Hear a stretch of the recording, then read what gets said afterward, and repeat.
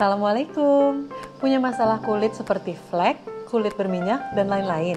Tenang aja, aku rekomendasiin pakai Navida Skincare Brightening Package.